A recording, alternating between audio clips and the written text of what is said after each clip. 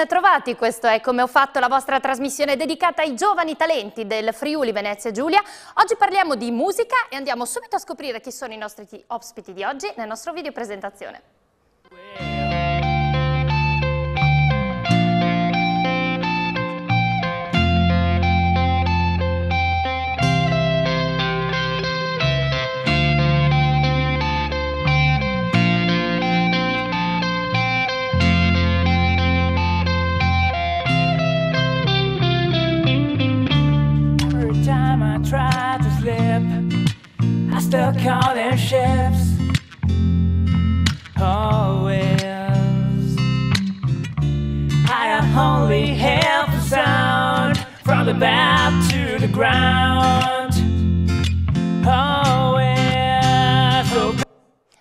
Qua, andiamo subito a conoscerli. Loro sono gli Uncles on the Moon. Per noi in studio oggi c'è Giulio Freschi. Ciao Giulio, grazie di stare qua con Ciao. noi. E sei quello che dà la voce agli Uncle- Uncles on the. Moon.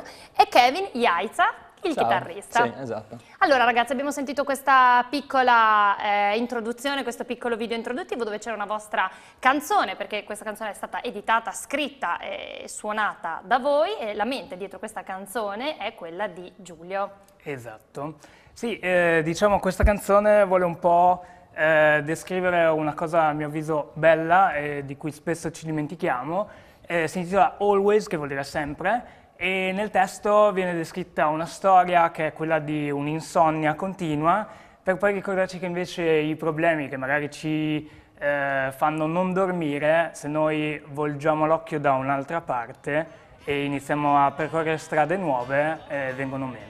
Quindi è un messaggio molto importante secondo me quello di andare avanti e, e niente, è venuta proprio da sola questa canzone, ho chiamato il buon Kevin e abbiamo iniziato a lavorarci insieme e quindi niente, è venuta fuori, verrà fuori, la pubblicheremo intera e quindi niente, seguiteci.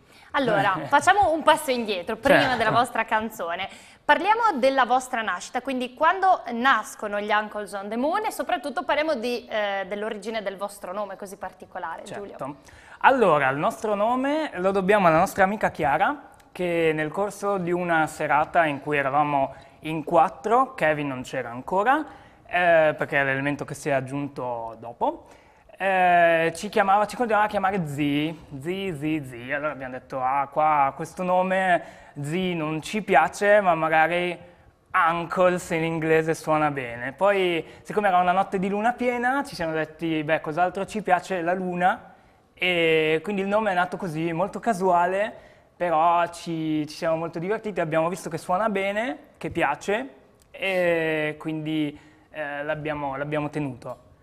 Per quanto riguarda cosa facciamo, da quanto iniziamo, quando abbiamo iniziato, maggio, quindi siamo una band eh, diciamo Emergente. nuova, emergente, però ehm, tutti i componenti hanno suonato da altre parti prima e quindi eh, diciamo abbiamo avuto meno bisogno di fare prove, Di collaudarvi. di collaudarci, Esatto. perché comunque eravamo già tutti abituati a, a suonare insieme, abbiamo dovuto solo scegliere un genere, che è stato quello del Brit, rock, pop, alternative, quindi qualcosa di abbastanza fresco, abbastanza nuovo. Sono- nel nostro repertorio di cover ci sono canzoni anche del 2014-2015, quindi ci aggiorniamo sempre di più senza rinunciare ai grandi classici, non lo so, che possono essere degli Oasis, degli Arctic Monkeys, tutti questi gruppi che ormai hanno fatto epoca e quindi va bene anche avere in scaletta. Ecco, quindi una band emergente, ma vi siete già esibiti in diversi posti a Udine, giusto? Certo. Se, se non erro. Ecco, come è iniziato il vostro giro di concerti? Quindi un altro passo indietro, quando eh, vi siete incontrati, avete iniziato a fare musica, avete iniziato a conoscervi, a creare, ma qual è stato lo step che vi ha portato poi effettivamente ad esibirvi? Bah, eh, diciamo che avendo avuto meno tempo per fare prove, proprio perché eravamo tutti dei musicisti abbastanza rodati, eh, ci siamo detti, bah, eh, piuttosto che suonare per me, eh, per, eh, suono per gli altri, cioè ho bisogno di una data, finalmente l'abbiamo trovata a distanza di un mese dalla nascita, quindi il nostro primo concerto è stato allo eh, Svat eh, Caffè del, ehm, del CUS di Udine, quindi un concerto al chiuso, eh, in piena estate, 15-18 giugno. E, e niente, è stato molto positivo per noi avere dopo solo un mese una prima data e poi ci siamo spesso esibiti come gruppo spalla degli MSP Alternative, che sono un'altra band che fa più o meno il nostro stesso genere, in cui eh, milita anche il nostro batterista, quindi ci va bene perché ci muoviamo un po' più leggeri e riusciamo quindi ad avere un sacco di date con loro e questo ci ha fatto solo che bene perché nel giro di poco tempo abbiamo toccato le 10 date e per noi è un traguardo importante essendo passato comunque sì, Poco tempo e comunque Esatto. per una band emergente potersi esibire, come vediamo anche nelle foto che stanno andando in onda proprio in questo momento, è sicuramente un buon passo avanti anche per farvi conoscere. Ecco, prima Giulio, tu hai parlato di musicisti rodati. Il nostro Kevin eh, ha 20 anni, quindi sei molto giovane. Il più giovane. Quali trascorsi musicali hai? Allora, ehm, beh, io prima degli Anchors on the Moon ho suonato e tuttora suono in un altro gruppo, si chiamano i The Sparks. Nasciamo così, c'è con questo nome, perché appunto siamo originari tutti di Tavagnacco, quindi eh, abbiamo deciso di chiamarci così anche perché ehm, eh, c'è una festa, sia qua a Tavagnacco che si svolge ogni anno, che è appunto la festa degli asparagi. E, Come è stato noi- entrare negli Uncles? Allora, è stato molto, beh, un'esperienza molto bella, molto positiva, anche perché comunque quando incontri gente che ha già suonato e ha già un po' di esperienza, eh, riesci a, insomma, eh, trovarti molto più eh, tranquillo e, insomma, sereno quando suoni con loro.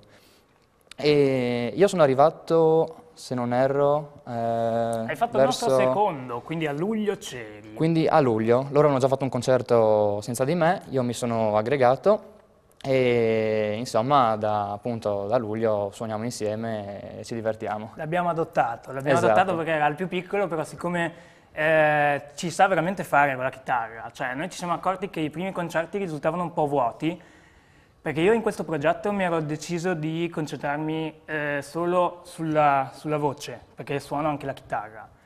Però eh, avere un altro che suona la chitarra ti dà molto più vantaggio, molto più sicurezza e Kevin è molto bravo, impara in fretta, nel giro di una settimana sapeva già tutto il repertorio e quando si è esibito la prima volta con noi era passato veramente poco, cioè ad esempio una settimana per imparare le canzoni, il sabato di quella settimana eravamo a Cassacco ad una festa privata e l'abbiamo presentato e tanti complimenti, quindi non, non credevano che fosse con noi da solo una settimana. Gli organizzatori hanno detto è la classica cosa che avete inventato per... In realtà era In realtà era, tutto così. vero ed è quindi è stato un buon acquisto. Ecco, allora, ehm, una domanda classica della nostra trasmissione. Quando è nata la vostra passione per la musica? Quindi prima Giulio, poi Kevin.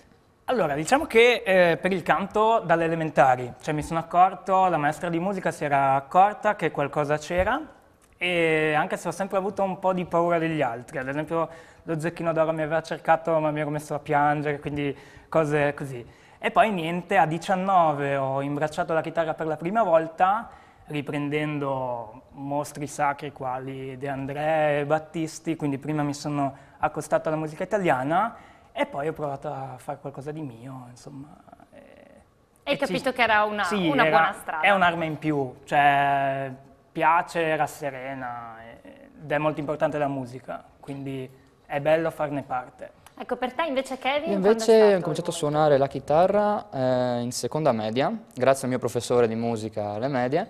E, mm, sì, fin da quando l'ho presa la prima volta, insomma, avevo proprio capito che era lo strumento che insomma, faceva per me e che volevo eh, continuare a suonare. E diciamo che gli artisti che mi hanno ispirato fin da subito di più sono stati sicuramente eh, artisti degli anni 80 e 90 del rock, quindi Pink Floyd, come eh, Genesis, come Dire Straits, insomma tutti questi gruppi insomma straconosciuti.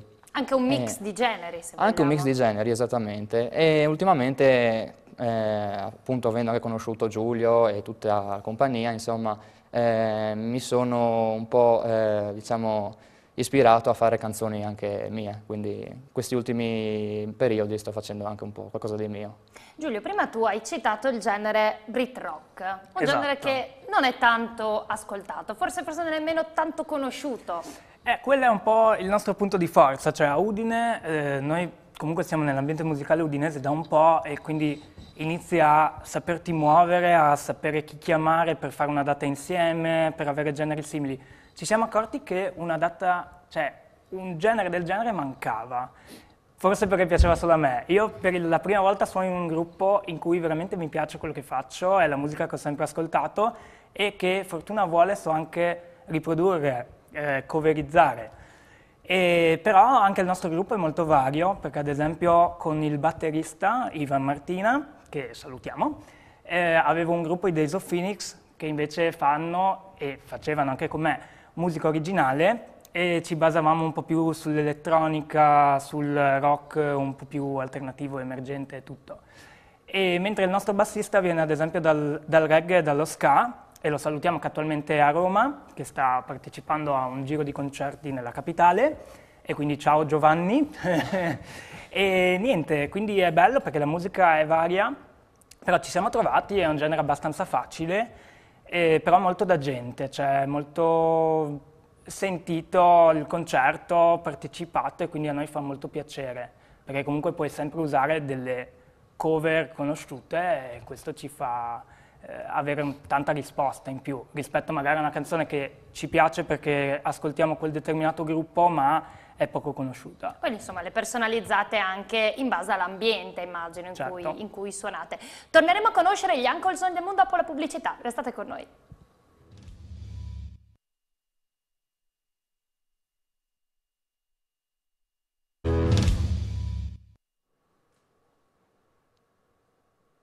Di nuovo in studio, come ho fatto con gli Uncles on the Moon, band emergente eh, del contesto udinese. Ecco, vediamo qua sul nostro banco una chitarra, una chitarra molto particolare che è la chitarra di Kevin, giusto? Di Giulio. Di Giulio, La mia però oggi la suonerà Kevin, cioè, quindi- Ecco, quindi av- avrai anche questo onore. Ecco, una Esatto. chitarra che eh, è una chitarra, insomma, come tutte le altre, però ha un qualcosa di più, questa personalizzazione che vediamo. Come mai? Eh, diciamo che è stato un regalo di laurea e per gli amici a casa diciamo come è venuta fuori. Eh, la chitarra in sé è, una è la prima chitarra che ho avuto, che mi ha regalato mio zio, eh, a 11 anni, ma l'ho suonata 7 anni dopo perché non, non- era lì a prendere polvere. E praticamente con il decoupage e la malta è venuta fuori questo motivo floreale, questo blu, comunque un bel blu, ci piace. Ed è anche un tratto distintivo. Sì, sì, sì. Ecco, allora, visto che ce l'abbiamo qua e visto che abbiamo Perché la- sentito... perché lasciarla qua? Perché lasciarla qua, esatto. Abbiamo sentito nell'introduzione della nostra puntata la vostra Always e eh, siccome ci avete anche raccontato, insomma, che Always è una vostra creazione, ma che suonate anche cover band, allora regaliamo un minuto di musica anche ai nostri spettatori e quindi Kevin a te Certo. la chitarra, mentre la voce è quella di Giulio Freschi. Che cosa ci suonerete? Ma eh, faremo una nostra versione che abbiamo usato per fare gli auguri di Natale su Facebook perché comunque teniamo attiva questa nostra pagina il più possibile e quindi per chi non se l'è ancora ascoltata la facciamo qui in diretta e questa è la nostra personalissima versione di Stand By Me. Gli Uncles on the Moon, sentiamo.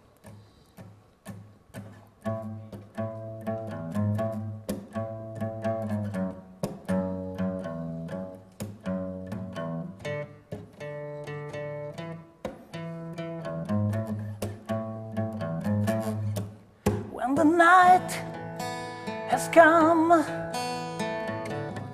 and the land is dark and the moon is the only light see.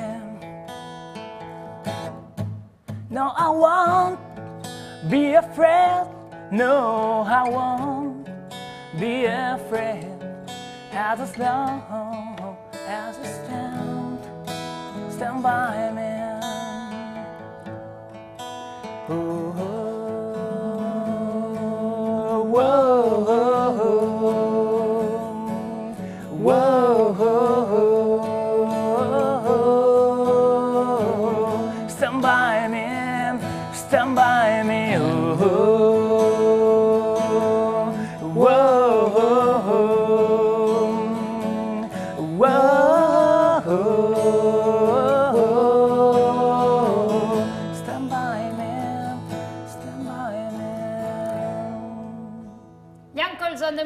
voce di Giulio Freschi, la chitarra di Kevin, bravissimi, oserei quasi dire che dal vivo siete ancora meglio, ancora meglio che, che Sì, dalla grazie. registrazione, quindi vi Grazie invitiamo mille. a seguire questa band nei suoi concerti. Parliamo adesso dei social, se vuoi pure riappoggiare qua Sì. la chitarra, così la teniamo bene in mostra per i nostri spettatori. Eccola qui. Parliamo dei social. Allora, avete una, una vostra pagina Facebook, Certamente. siete seguiti, è immancabile per una band oggigiorno avere una pagina Facebook. Eh, in realtà sì, cioè, mh, più che altro dipende da come ti approcci al social. Noi lo usiamo molto per pubblicizzare l'evento, però ci siamo accorti che da un po' di tempo i classici mi piace sono saliti anche se usi la pagina in maniera simpatica, cioè non devi dare l'impressione di essere una band che aspetta l'evento, cioè devi far capire a, a chi ti segue che è un percorso continuo, quindi non lo so, noi abbiamo fatto gli auguri di Natale, gli auguri di buon anno, iniziamo a fare le dirette, abbiamo lanciato ad esempio l'intervista di oggi, perché comunque è da fare, così mh, sappiamo che eh, ci vedono, no? E quindi è molto importante far vedere che è una pagina in crescita, che non ti accontenti del concerto e delle foto dopo, ma che c'è tutta anche la vita della band, far vedere che siamo comunque delle persone normali che puoi incontrare in, in centro a Udine e quindi niente, magari qualche foto simpatica dopo prove, un accenno di registrazione. e Per ha- catturare Chi più ne ha l'attenzione. più ne metta, diciamo così. Ecco, i social, come molti altri media di oggi, sono molte volte eh, un grande contenitore di talenti, ma talvolta non sempre talenti reali, perché insomma ci si nasconde dietro uno schermo ed è facile anche riuscire ad arrivare a un numero di like tale per cui eh, si inizia ad avere una certa visibilità. A proposito di questo, a proposito di visibilità, eh, parliamo dei talent show, un argomento che in qualche modo collegato. I talent show eh, sono fioriti in Italia, ce ne sono di diversi tipi, eh, derivanti anche da format esteri, però c'è sempre qualche nota stonata nei talent show. Come mai Giulio? Ma diciamo che l'interesse è, diciamo, strettamente economico alla fine. A me piaceva molto, eh, non so se si possa citare il titolo, eh, The Voice mi piaceva perché c'erano le blind, eh, le audizioni alla cieca e quindi tu ti basavi veramente solo sulla voce, non sapevi quasi neanche chi ti veniva fuori. Scoprivi dopo, il giudice girandosi scopriva se era un maschio e una femmina, eh, se era bravo, se non era bravo, se si girava voleva dire che aveva convinto, mentre eh, cose un po' più che abbiamo già visto, tipo X Factor, eccetera, dietro ci sono dei fortissimi, secondo me, interessi economici, perché contratti, contrattini, l'esigenza anche di fare più canzoni all'anno, una volta bastava un singolo, cioè se torniamo indietro al vinile o ai primi anni del, del CD, bastava veramente un singolo e dire a posto. Dopo ti veniva chiesto un lavoro più completo, adesso il singolo ad esempio non, lo- non ti serve più, perché hai bisogno di visibilità continua, date continue, probabilmente hai altri interessi che possono essere interessi pubblicitari e il cantante e l'artista non è più cantante artista in quanto tale, ma in quanto talent, mettiamola In così. quanto talent, assolutamente sì, forse eh, i talent hanno contribuito a cambiare quello che è il mercato della musica, Esatto. ma soprattutto Kevin hanno anche contribuito a eh, uniformare i generi musicali. Hai citato X Factor e ricordiamo che eh, nelle ultime edizioni di Sanremo moltissimi dei vincitori sono usciti proprio a X Factor, un, un fatto piuttosto particolare forse. Sì, beh, E più o meno tutti con lo stesso genere musicale, senza grandi innovazioni, senza saper offrire un genere musicale realmente diverso. Ecco, se tu potessi avere in mano un talent, Kevin, Mm. come lo organizzeresti per far emergere chi veramente ha talento? Allora, eh, bella domanda. Come si corregge Bella la nota domanda. stonata dei talent? Beh, secondo me comunque eh, per un talent bisognerebbe eh, conoscere magari già prima un po' chi viene a, insomma, a esibirsi. Eh, quindi appunto anche magari con i social, tramite i social, tramite altri canali come possono essere YouTube, come possono essere anche vari forum che si trovano su internet. Quindi secondo me questo magari sarebbe il punto forse da eh, magari incentivare sotto, un punto- sotto certi punti di vista. Quindi la Eh, fase di recruiting Esatto, esattamente, Esatto. esattamente. Magari anche tenendo un po' anche conto della carriera che magari questi talenti hanno, perché tante, mh, tante volte succede che magari a parer mio arrivano eh, dei ragazzi forse anche troppo giovani per quella che è, poi potrebbe aprirsi una carriera insomma a livello musicale. Ecco, eh, fare musica, il sogno di tanti, però eh, ahimè un lusso per pochi alla, alla fin fine. Che cosa serve per sfondare veramente nel mondo della musica, secondo voi, Giulio? Ma eh, diciamo che noi lo usiamo come hobby, cioè band emergente hai detto benissimo, però ad esempio io sono un maestro elementare nella vita e mentre Kevin sta studiando ingegneria e anche gli altri componenti della band comunque abbiamo un lavoro, comunque studiamo, cioè siamo persone normali. Sogno rimane un sogno, cioè a noi piace, eh, secondo me se sei capace di mettere per iscritto qualcosa che senti, stai già facendo musica. Di certo non avremo agenzie dietro, non abbiamo un'etichetta, cioè, però ci piace vedere la gente che reagisce bene al concerto, cioè se noi riusciamo a divertirci in primis noi e a far divertire gli altri abbiamo vinto. Cioè torniamo a casa felici, che ci sia un guadagno dietro o meno non ci interessa. Eh, adesso è un po' cambiato, adesso c'è veramente la, la fabbrica del talento, cioè gente che è obbligata a scrivere di continuo, che cerca sul social la fama, eh, che cerca l'etichetta, che cerca il, il, mercato a tutti i costi, si perde un po' la creazione originale. Cioè io mh, mi aggiorno spesso su Spotify, YouTube, ascolto anche questi nuovi talenti che vengono fuori da queste fabbriche che sono ormai i talent, ma rispetto a quelli di dieci anni fa mi danno sempre meno, cioè li ascolto, sono cose mh, veramente registrate molto bene che però non mi vado a riascoltare dopo, quindi secondo me il significato della canzone va perdendosi. Ecco, quindi il business a discapito della qualità e della creatività della musica, Esatto. che è la, la chiave di volta alla fine che la rende così piacevole. Come in ogni nostra puntata, io ho scelto per voi un video che in qualche modo vi riguarda, in qualche modo può essere un argomento di discussione, quindi andiamo a vederlo insieme e dopo lo commentiamo velocemente.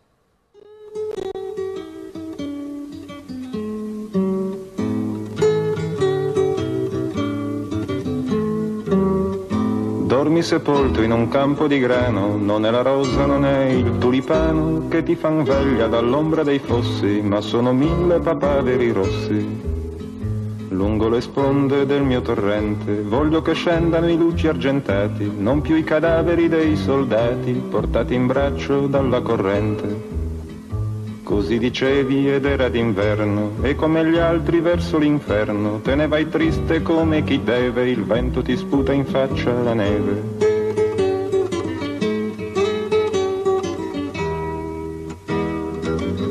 Fermati Piero, fermati adesso, lascia che il vento ti passi un Eccoci qui, avrete sicuramente riconosciuto chi è Ovviamente. Questo cantante. Fabrizio De André è uno forse dei più grandi cantautori italiani, ha saputo lasciare il segno, ma soprattutto abbiamo visto questo video un'ambientazione piuttosto spoglia, una stanza, una sedia, una chitarra, ma soprattutto una buona storia, perché la musica alla fine è fatta di buone storie, giusto? Beh, eh, non possiamo che condividere perché De André proprio incarnava questo e questi valori si sono un po' persi. Cioè, ad esempio, lui aveva veramente, come hai detto tu, era, era un videoclip questo, cioè non era una registrazione, eppure lui non aveva niente, aveva un faro, una luce fissa, una chitarra, però a livello testuale qualcosa di inarrivabile. Ed è un po' questo, cioè secondo me fare musica oggi dovrebbe essere ancora così, cioè dovresti avere l'idea piuttosto che i mezzi. Poi i mezzi arrivano in qualche modo. Ecco, anche uno strumento semplice come la chitarra, cinque corde e eh, una, una grande potenza emotiva. Certo, forse addirittura la semplicità è alla fine la chiave del- insomma, del- di fare buona musica. Ecco, De André dimostra apertamente questa tua affermazione. Siamo in chiusura. Ultima domanda per voi. Un talento, siccome la nostra trasmissione è dedicata ai talenti del Friuli Venezia Giulia o ai talenti emergenti come il vostro, un talento è qualcosa con cui nasciamo, qualcosa che possiamo acquisire nel tempo.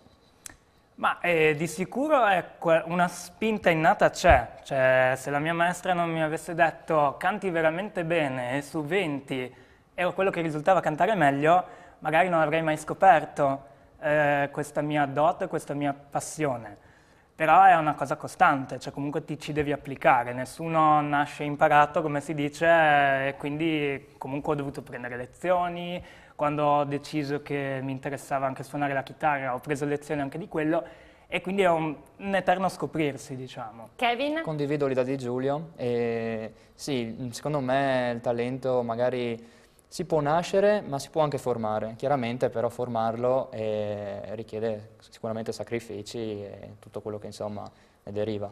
Ecco, che si nasca o non si nasca quindi con un talento, l'importante è saperlo coltivare, metterci la giusta dose di volontà. Tempo scaduto per noi, io ringrazio Giulio e Kevin e gli Uncles on the Moon Grazie per essere voi. stati i nostri ospiti e ovviamente il miglior augurio per tutte le vostre tournée future, speriamo che il vostro sogno possa concretizzarsi. Io vi ringrazio per averci seguiti e vi do appuntamento sempre qui a Come ho fatto con un altro talento. Grazie e arrivederci.